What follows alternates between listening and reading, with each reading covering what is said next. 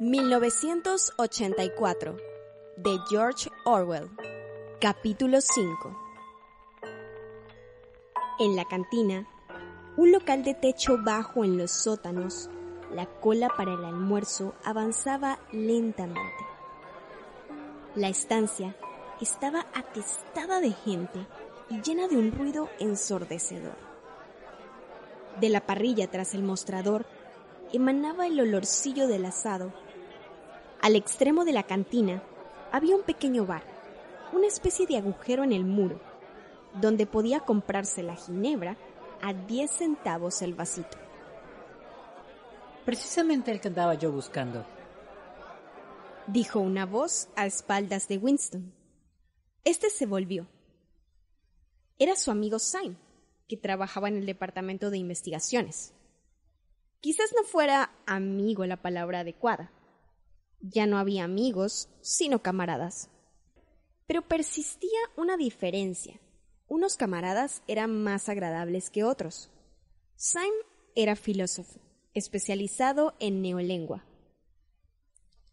Desde luego, pertenecía al inmenso grupo de expertos dedicados a redactar la onceava edición del diccionario de neolengua. Era más pequeño que Winston, con cabello negro y sus ojos saltones, a la vez tristes y burlones, que parecían buscar continuamente algo dentro de su interlocutor. Quería preguntarte si tenías hojas de afeitar. Mm, ni una. He tratado de encontrarlas por todas partes, pero ya no hay. Todos buscaban hojas de afeitar. La verdad era que Winston guardaba en su casa dos sin estrenar durante los meses pasados hubo una gran escasez de hojas. Siempre faltaba algún artículo necesario que en las tiendas del partido no podían proporcionar. Unas veces botones, otras hilos de coser, a veces cordones para los zapatos. Y ahora faltaban cuchillas de afeitar. Era imposible adquirirlas a no ser que se buscaran furtivamente en el mercado libre. Llevo seis semanas usando la misma cuchilla mintió Winston. La cola avanzó otro poco. Winston se volvió otra vez para observar a Syme. Cada uno de ellos cogió una bandeja grasienta de metal de una pila que había al borde del mostrador. ¿Fuiste a ver ahorcar a los prisioneros ayer? Le preguntó Syme. Mm, estaba trabajando. Respondió Winston en tono indiferente. Lo veré en el cine, seguramente. Un sustitutivo muy inadecuado. Sus ojos burlones recorrieron el rostro de Winston. Te conozco, parecían decir los ojos. Veo a través de ti.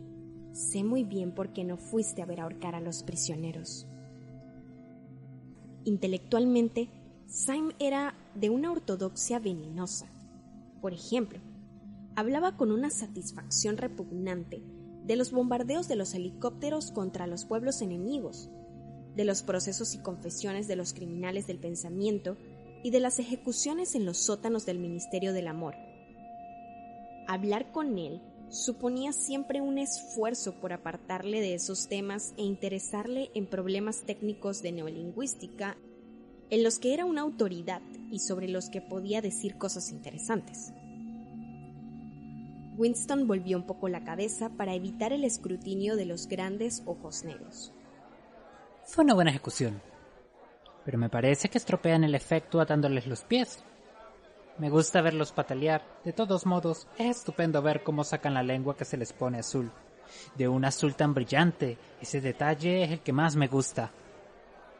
El siguiente, por favor, dijo la proletaria del delantal blanco que servía tras el mostrador. Winston y Syme presentaron sus bandejas. A cada uno de ellos les pusieron su ración. Guiso con un poquito de carne, algo de pan, un cubito de queso, un poco de café de la Victoria y una pastilla de sacarina. Allí hay una mesa libre, debajo de la telepantalla. De camino podemos coger un poco de ginebra. Dijo Syme. Le sirvieron la ginebra en unas terrinas. Se abrieron paso entre la multitud y colocaron el contenido de sus bandejas sobre la mesa de tapa de metal en una esquina de la cual había dejado alguien un chorreón de grasa del guiso, un líquido asqueroso. Winston cogió la terrina de Ginebra, se detuvo un instante para decidirse y se tragó de un golpe aquella bebida que sabía aceite. Le acudieron lágrimas a los ojos como reacción y de pronto descubrió que tenía hambre. Empezó a tragar cucharadas del guiso que contenía unos trocitos de un material sustitutivo de la carne. Ninguno de ellos volvió a hablar hasta que vaciaron los recipientes. En la mesa situada a la izquierda de Winston, un poco detrás de él, alguien hablaba rápidamente y sin cesar. Una cháchara que recordaba el cuacua del pato. Esa voz perforaba el jaleo general de la cantina. ¿Cómo va el diccionario? dijo Winston, elevando la voz para dominar el ruido. Despacio, por los adjetivos. Es un trabajo fascinador. Respondió Syme.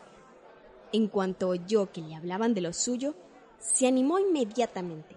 Apartó el plato de aluminio, tomó el mendrugo de pan con gesto delicado y el queso con la otra mano.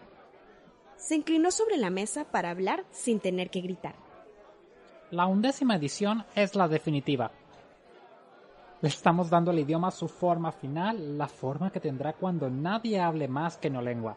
Cuando terminemos nuestra labor tendréis que empezar a aprenderlo de nuevo. Creerás seguramente que nuestro principal trabajo consiste en inventar palabras nuevas. Nada de eso. Lo que hacemos es destruir palabras, centenares de palabras cada día. Estamos podando el idioma para dejarlo en los huesos. De las palabras que contenga la undécima edición, ninguna quedará anticuada antes del año 2050. Dio un hambriento bocado a su pedazo de pan y se lo tragó sin dejar de hablar con una especie de apasionamiento pedante. Se le había animado su rostro moreno y sus ojos, sin perder el aire soñador, no tenían ya su expresión burlona. La destrucción de las palabras es algo de gran hermosura. Por supuesto, las principales víctimas son los verbos y los adjetivos, pero también hay centenares de nombres de los que uno puede prescindir. No se trata de los sinónimos, también los antónimos. En realidad, ¿qué justificación tiene el empleo de una palabra solo porque sea el contrario de otra? Toda palabra contiene en sí misma su contraria. Por ejemplo, tenemos bueno. Si tienes una palabra como bueno, ¿qué necesidad hay de la contraria? Malo. No bueno sirve exactamente igual. Mejor todavía. Porque es la palabra exactamente contraria a bueno. Y la otra no. Por otra parte, si quieres un reforzamiento de la palabra bueno, ¿qué sentido tienen esas confusas e inútiles palabras excelente, espléndido y otras por el estilo? Plus bueno basta para decir lo que es mejor que lo simplemente bueno y doble plus bueno sirve perfectamente para acentuar el grado de bondad. Es el superlativo perfecto, ya sé que usamos esas formas, pero en la versión final de la neolengua se suprimirán las demás palabras que todavía se usan como equivalentes. Al final todo lo relativo a la bondad podrá expresarse con seis palabras. En realidad, una sola. ¿No te das cuenta de la belleza que hay en esto, Winston? Naturalmente, la idea fue del gran hermano. Añadió después de reflexionar un poco. Al oír nombrar al gran hermano, el rostro de Winston se animó automáticamente. Sin embargo, Syme descubrió inmediatamente una cierta falta de entusiasmo. Tú no aprecias la neolengua en lo que vale, dijo Syme con tristeza. Incluso cuando escribes, sigues pensando en la antigua lengua. He leído algunas de las cosas que has escrito para el Times. Son bastante buenas, pero no pasan de traducciones. En el fondo de tu corazón prefieres el viejo idioma con toda su vaguedad y sus inútiles matices de significado. ¿No sientes la belleza de la destrucción de las palabras? ¿No sabes que la neolengua es el único idioma del mundo cuyo vocabulario disminuye cada día? Winston no lo sabía, naturalmente. Sonrió, creía hacerlo agradablemente, porque no se fiaba de hablar. Syme cogió otro bocado del pan negro, lo masticó un poco y siguió. ¿No ves que la finalidad de la neolengua es limitar el alcance del pensamiento, estrechar el radio de acción de la mente? al final acabaremos haciendo imposible todo crimen del pensamiento. En efecto, ¿cómo puede haber un crimen tal si cada concepto se expresa claramente con una sola palabra? Una palabra cuyo significado está decidido rigurosamente y con todos sus significados secundarios eliminados y olvidados para siempre. Y en la undécima edición nos acercamos a ese ideal. Pero su perfeccionamiento continuará mucho después de que tú y yo nos hayamos muerto. Cada año habrá menos palabras y el radio de acción de la conciencia será cada vez más pequeño. Por supuesto, Tampoco ahora hay justificación alguna para cometer un crimen por el pensamiento. Solo es cuestión de autodisciplina, de control de la realidad. Pero llegará un día que ni esto será preciso. La revolución será completa cuando la lengua sea perfecta. Neolengua es INSOC e INSOC es neolengua. Añadió con una satisfacción mística. ¿No se te ha ocurrido pensar, Winston, que lo más tarde hacia el año 2050 ni un solo ser humano podrá entender una conversación como esta que ahora sostenemos? Excepto... Empezó a decir Winston dubitativo, pero se interrumpió alarmado. Había estado a punto de decir excepto los proles, pero no estaba muy seguro de que esta observación fuera muy ortodoxa. Sin embargo, Syme adivinó lo que iba a decir. Los proles no son seres humanos. Dijo. Hacia el 2050, quizás antes, habrá desaparecido todo conocimiento efectivo del viejo idioma. Toda literatura del pasado habrá sido destruida. Chaucer, Shakespeare, Milton, Byron, solo existirán en versiones neolingüísticas, no solo transformados en algo muy diferente, sino convertidos en lo contrario de lo que eran. Incluso la literatura del partido cambiará hasta los eslóganes serán otros. ¿Cómo vas a tener un eslogan como el de la libertad es la esclavitud cuando el concepto de libertad no exista? Todo el clima del pensamiento será distinto. En realidad no habrá pensamiento en el sentido que ahora lo entendemos. La ortodoxia significa no pensar, no necesitar el pensamiento. Nuestra ortodoxia es la inconsciencia. De pronto tuvo Winston la profunda convicción de que uno de aquellos días vaporizarían a Syme. Es demasiado inteligente, lo ve todo con demasiada claridad y habla con demasiada sencillez. Al partido no le gustan estas gentes. Cualquier día desaparecerá. Lo lleva escrito en la cara. Winston había terminado el pan y el queso. Se volvió un poco para beber la terrina de café en la mesa de la izquierda, el hombre de la voz estridente seguía hablando sin cesar. Una joven, que quizás fuera su secretaria y que estaba sentada de espaldas a Winston, le escuchaba y asentía continuamente. De vez en cuando, Winston captaba alguna observación como ¿Cuánta razón tienes? o No sabes hasta qué punto estoy de acuerdo contigo en una voz juvenil y algo tonta. Pero la otra voz no se detenía ni siquiera cuando la muchacha decía algo. Winston conocía de vista a aquel hombre, aunque no solo sabía que ocupaba un puesto importante en el departamento de novela. Era un hombre de unos 30 años con un poderoso cuello y una boca grande y gesticulante. Estaba un poco echado hacia atrás en su asiento y los cristales de sus gafas reflejaban la luz y le presentaban a Winston dos discos vacíos en vez de un par de ojos. Lo inquietante era que del torrente de ruido que salía de su boca resultaba casi imposible distinguir una sola palabra. Solo un cabo de frase comprendió Winston. Completa y definitiva eliminación del golstenismo pronunciado con tanta rapidez que parecía salir en un solo bloque como la línea fundida en plomo de una linotipia. Lo demás era solo ruido, un cuac cuac cuac, y sin embargo, aunque no se podía oír lo que decía, era seguro que se refería a Goldstein acusándolo o exigiendo medidas más duras contra los criminales del pensamiento y los saboteadores.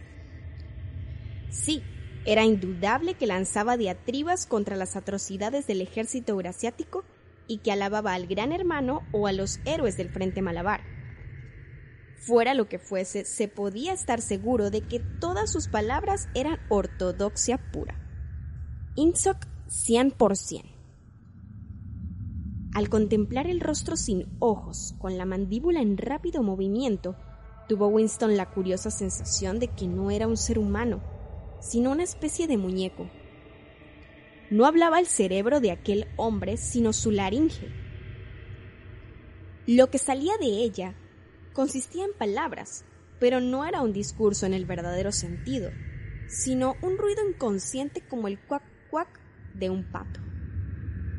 Syme se había quedado silencioso unos momentos y con el mango de la cucharilla trazaba dibujos entre los restos del guisado.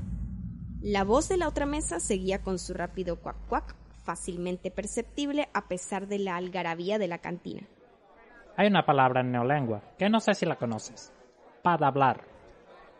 O sea, hablar de modo que recuerde el cuac cuac de un pato. Es una de esas palabras interesantes que tienen dos sentidos contradictorios. Aplicada a un contrario es un insulto, aplicada a alguien con quien estés de acuerdo es un elogio. No cabía duda, volvió a pensar Winston, a lo vaporizaría. Lo pensó con cierta tristeza, aunque sabía perfectamente que Syme lo despreciaba y era muy capaz de denunciarle como culpable mental. Había algo de sutilmente malo en Syme. Algo le faltaba, discreción, prudencia, algo así como estupidez salvadora. No podía decirse que no fuera ortodoxo. Creía en los principios del Inksok, veneraba al gran hermano, se alegraba de las victorias y odiaba a los herejes, no solo sinceramente, sino con inquieto celo, hallándose al día hasta un grado que no solía alcanzar el miembro ordinario del partido. Sin embargo, se cernía sobre él un vago aire de sospecha. Decía cosas que debía callar, leía demasiados libros, frecuentaba el café del Nogal, guarida de pintores y músicos. No había ley que prohibiera la frecuentación del café del Nogal. Sin embargo, era sitio de mal agüero. Los antiguos y desacreditados jefes del partido se habían reunido allí antes de ser purgados definitivamente. Se decía que al mismo Goldstein lo habían visto allí algunas veces hacía años o décadas. Por tanto, el destino de Syme no era difícil de predecir. Pero, por otra parte, era indudable que si aquel hombre olía, solo por tres segundos, las opiniones secretas de Winston, lo denunciaría inmediatamente a la policía del pensamiento. Por supuesto, cualquier otro hombre lo haría, Syme se daría más prisa. Pero no bastaba con el celo. La ortodoxia era la inconsciencia. Syme levantó la vista. Ah, aquí viene Parsons. Dijo.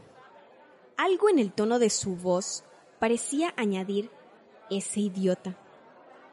Parsons, vecino de Winston en las casas de la Victoria, se abría paso efectivamente por la atestada cantina. Era un individuo de mediana estatura, con cabello rubio y cara de rana. A los 35 años tenía ya una buena cantidad de grasa en el cuello y en la cintura, pero sus movimientos eran ágiles y juveniles.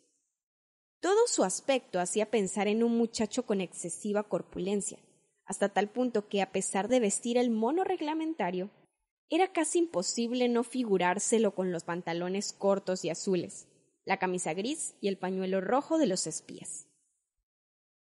Al verlo, se pensaba siempre en escenas de la organización juvenil, y en efecto, Parsons se ponía shorts para cada excursión colectiva o cada vez que cualquier actividad física de la comunidad le daba una disculpa para hacerlo. Saludó a ambos con un alegre Hola. Hola y sentóse a la mesa esparciendo un intenso olor a sudor. Su rojiza cara estaba perlada de gotitas de sudor. Tenía un enorme poder sudorífico. En el centro de la comunidad se podía siempre asegurar si Parsons había jugado al tenis de mesa por la humedad del mango de la raqueta. Syme sacó una tira de papel en la que había una larga columna de palabras y se dedicó a estudiarla con un lápiz tinta entre los dedos. Mira cómo trabajas en la hora de comer, dijo Parsons guiñándole un ojo a Winston. Eso es lo que se llama aplicación. ¿Qué tienes ahí, chico? Seguro que es algo demasiado intelectual para mí. Oye, Smith, te diré por qué te andaba buscando. Es para la sub. Olvidaste darme el dinero. ¿Qué sub es esa? Dijo Winston buscándose el dinero automáticamente. Por lo menos una cuarta parte del sueldo de cada uno iba a parar a las suscripciones voluntarias. Estas eran tan abundantes que resultaba muy difícil llevar la cuenta para la Semana del Odio. Ya sabes que soy el tesorero de nuestra manzana. Estamos haciendo un gran esfuerzo para que nuestro grupo de casas aporte más que nadie. No será culpa mía si las casas de la Victoria no presenten el mayor despliegue de banderas de toda la calle.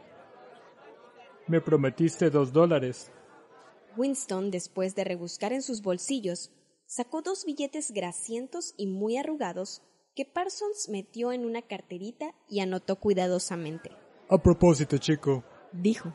Me he enterado de que mi crío te disparó ayer con su tirachinas. Ya le he arreglado las cuentas. Le dije que si lo volvía a hacer, le quitaría tirachinas. Me parece que estaba un poco fastidiado por no haber ido a la ejecución, dijo Winston. Hombre, no está mal. Eso demuestra que el muchacho es de fiar. Son muy traviesos, pero eso sí, no piensan más que en los espías y en la guerra, naturalmente. ¿Sabes lo que hizo mi chiquilla el sábado pasado cuando su tropa se fue de excursión a Berheimstedt? La acompañaban otras dos niñas. Las tres se separaron de la tropa, dejaron las bicicletas a un lado del camino y se pasaron toda la tarde siguiendo a un desconocido. No perdieron de vista al hombre durante dos horas a campo traviesa por los bosques, en fin, que cuando llegaron a Amersham lo entregaron a la patrulla. ¿Por qué lo hicieron? Preguntó Winston, sobresaltado a pesar suyo. Parsons prosiguió triunfante. Mi chica se aseguró de que era un agente enemigo. Probablemente lo dejaron caer con paracaídas, pero fíjate el talento de la criatura. ¿En qué supones que le conoció al hombre que era un enemigo? Pues notó que llevaba unos zapatos muy raros. Sí, mi niña dijo que no había visto a nadie con unos zapatos así, de modo que la cosa estaba clara. Era un extranjero. Para una niña de siete años no está mal, ¿verdad? ¿Y qué le pasó a ese hombre? Se interesó Winston. Eso no lo sé, naturalmente, pero no me sorprendería que... Parsons hizo el ademán de disparar un fusil y chasqueó la lengua imitando el disparo. Muy bien, dijo Syme abstraído sin levantar la vista de sus apuntes. Claro, no podemos permitirnos correr el riesgo. Asintió Winston, nada convencido. No hay que olvidar que estamos en guerra. Como para confirmar esto, un trompetazo salió de la telepantalla vibrando sobre sus cabezas. Pero esta vez no se trataba de la proclamación de una victoria militar, sino solo de un anuncio del Ministerio de la Abundancia. Camaradas, exclamó una voz juvenil y resonante. Atención, camaradas. Tenemos gloriosas noticias que comunicaros. Hemos ganado la batalla de la producción.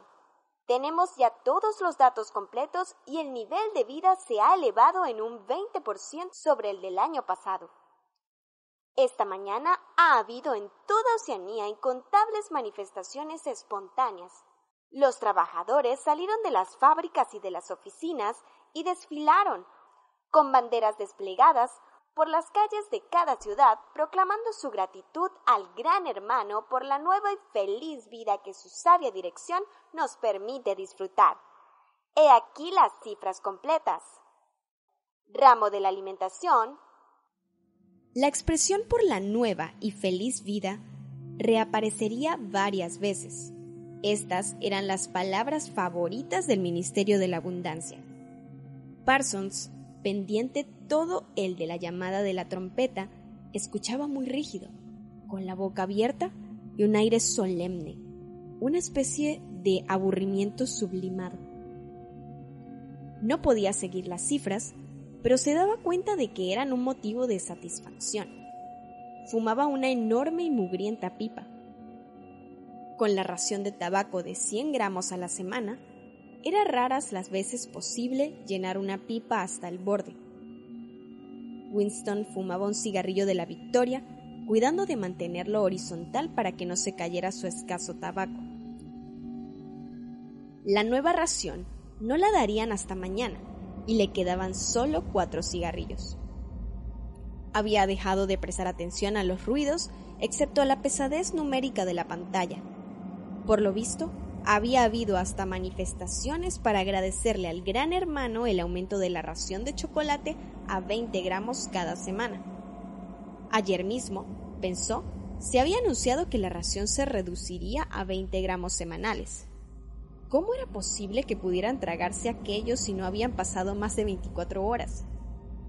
Sin embargo, se lo tragaron. Parsons lo digería con toda facilidad, con la estupidez de un animal. El individuo de las gafas con reflejos, en la otra mesa, lo aceptaba fanática y apasionadamente con un furioso deseo de descubrir, denunciar y vaporizar a todo aquel que insinuase que la semana pasada la ración fue de 30 gramos. Syme siempre se lo había tragado aunque el proceso que seguía para ello era algo más complicado, un proceso de doble pensar. ¿Es que solo él, Winston, seguía poseyendo memoria? Las fabulosas estadísticas continuaron brotando de la telepantalla. En comparación con el año anterior, había más alimentos, más vestidos, más casas, más muebles, más ollas, más comestibles, más barcos, más autogiros, más libros, más bebés, más de todo, excepto enfermedades, crímenes y locura. Año tras año y minuto tras minuto, todos y todo subía vertiginosamente. Winston meditaba, resentido sobre la vida. ¿Siempre había sido así? ¿Siempre había sido tan mala la comida? Miró en torno suyo por la cantina. Había una habitación de techo bajo con las paredes sucias por el contacto de tantos trajes grasientos, mesas de metal abolladas y sillas igualmente estropeadas y tan juntas que la gente se tocaba con los codos. Todo resquebrajado, lleno de manchas y saturado de un insoportable olor a ginebra mala, a mal café, a sustitutivo de asado, a trajes sucios. Constantemente se revelaban el estómago y la piel con la sensación de que se les había hecho trampa privándoles de algo a lo que tenían derecho. Desde luego, Winston no recordaba nada que fuera muy diferente. En todo el tiempo a que alcanzaba su memoria, nunca hubo bastante comida, nunca se podían llevar calcetines ni ropa interior sin agujeros, los muebles habían estado siempre desvencijados, en las habitaciones había faltado calefacción, los metros iban horriblemente atestados, las casas se deshacían a pedazos, el pan era negro, el té imposible de encontrar y el café sabía a cualquier cosa. Escaseaban los cigarrillos y nada había barato y abundante a no ser la ginebra sintética. Y aunque, desde luego, todo empeoraba a medida que uno envejecía, ello era solo señal de que este no era el orden natural de las cosas. Si el corazón enfermaba con las incomodidades, la suciedad y la escasez, los inviernos interminables, la dureza de los calcetines, los ascensores que nunca funcionaban, el agua fría, el rasposo jabón, los cigarrillos que se deshacían, los alimentos de sabor repugnante, ¿Cómo iba uno a considerar todo esto intolerable si no fuera por una especie de recuerdo ancestral de que las cosas habían sido diferentes alguna vez? Winston volvió a recorrer la cantina con la mirada. Casi todos los que allí estaban eran feos, y lo hubieran seguido siendo aunque no hubieran llevado los monos azules uniformes. Al extremo de la habitación, solo en una mesa, se hallaba un hombrecillo con aspecto de escarabajo. Bebía una taza de café y sus ojillos lanzaban miradas suspicaces de un lado a otro. Es muy fácil, pensó Winston, siempre que no mire uno en torno suyo, creer que el tipo físico fijado por el partido como ideal, los jóvenes altos y musculosos y las muchachas de escaso pecho y de cabello rubio, vitales, tostadas por el sol y despreocupadas, existía e incluso predominaba. Pero en la realidad, la mayoría de los habitantes de la franja aérea número uno eran pequeños, cretinos y de facciones desagradables. Es curioso cuánto proliferaba el tipo de escarabajo entre los funcionarios de los ministerios. Hombrecillos que engordaban desde muy jóvenes, con piernas cortas, movimientos toscos y rostros inescrutables con ojos muy pequeños. Era el tipo que parecía florecer bajo el dominio del partido. La comunicación del Ministerio de la Abundancia terminó con otro trompetazo y fue seguida por música ligera. Parsons, lleno de vago entusiasmo por el reciente bombardeo de cifras, se sacó la pipa de la boca. El Ministerio de la Abundancia ha hecho una buena labor este año, dijo moviendo la cabeza como persona bien enterada. A propósito, Smith, ¿no podrías dejarme alguna hoja de afeitar? Ni una, le respondió Winston. Llevo seis semanas usando la misma hoja. Mm, entonces nada. Es que se me ocurrió por si tenías. Lo siento, dijo Winston. El cuac de la próxima mesa, que había permanecido en silencio mientras duró el comunicado del Ministerio de la Abundancia, comenzó otra vez mucho más fuerte. Por alguna razón, Winston pensó de pronto en la señora Parsons con su cabello revuelto y el polvo de sus arrugas. Dentro de dos años, aquellos niños la denunciarían a la policía del pensamiento la señora Parsons sería vaporizada. Syme sería vaporizado. A Winston lo vaporizarían también. O'Brien sería vaporizado. A Parsons, en cambio, nunca lo vaporizarían. Tampoco el individuo de las gafas y del cuac cuac serían vaporizado nunca. Ni tampoco la joven del cabello negro, la del departamento de novela. Le parecía a Winston conocer por intuición quién perecería aunque no era fácil determinar lo que permitía sobrevivir a una persona. En aquel momento le sacó de su ensoñación una violenta sacudida. La muchacha de la mesa vecina se había vuelto y lo estaba mirando. Era la muchacha morena del departamento de novela. Miraba a Winston a hurtadillas, pero con una curiosa intensidad. En cuanto sus ojos tropezaron con los de Winston, volvió la cabeza. Winston empezó a sudar. Le invadió una horrible sensación de terror. Se le pasó casi enseguida, pero le dejó intranquilo. ¿Por qué lo miraba aquella mujer? ¿Por qué se le encontraba tantas veces? Desgraciadamente no podía recordar si la joven estaba ya en aquella mesa cuando él llegó o si había llegado después. Pero el día anterior, durante los dos minutos de odio, se había sentado inmediatamente detrás de él sin haber necesidad de ello.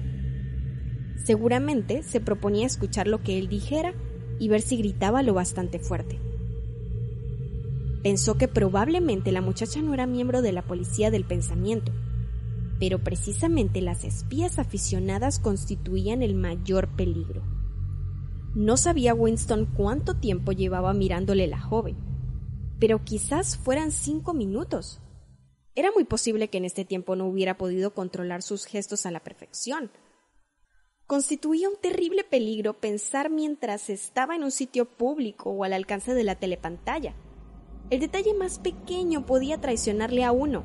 Un tic nervioso, una inconsciente mirada de inquietud, la costumbre de hablar con uno mismo entre dientes, todo lo que revelase la necesidad de ocultar algo. En todo caso, llevar en el rostro una expresión impropia, por ejemplo, parecer incrédulo cuando se anunciaba una victoria, constituía un acto punible. Incluso había una palabra para esto en neolengua, caracrimen. La muchacha recuperó su posición anterior. Quizás no estuviese persiguiéndolo. Quizás fuera pura coincidencia que se hubiera sentado tan cerca de él dos días seguidos. Se le había apagado el cigarrillo y lo puso cuidadosamente en el borde de la mesa.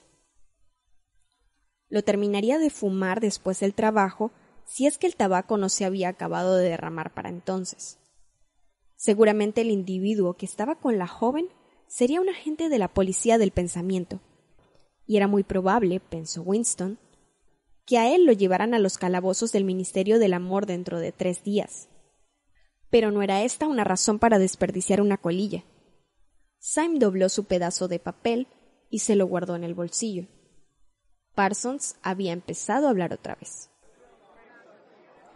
¿No te he contado, chico, lo que hicieron mis críos en el mercado? ¿No?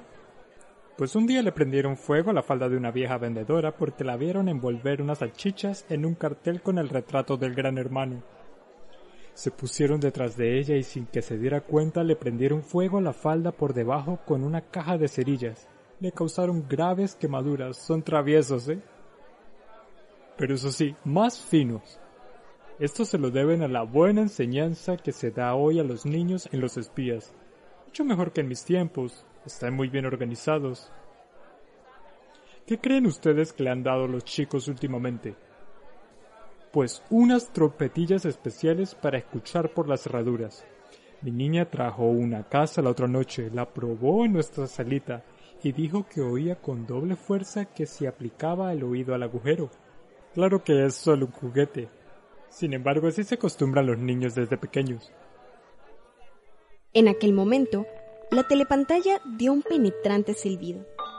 Era la señal para volver al trabajo. Los tres hombres se pusieron automáticamente en pie y se unieron a la multitud en la lucha por entrar en los ascensores, lo que hizo que el cigarrillo de Winston se vaciara por completo. Somos Paola Chacón y José Andrés Molina y estás escuchando Bibliófilos, Cuentos y Novelas Síguenos en nuestras redes sociales, YouTube, Spotify e iBox para seguir escuchando más historias con la mejor narrativa.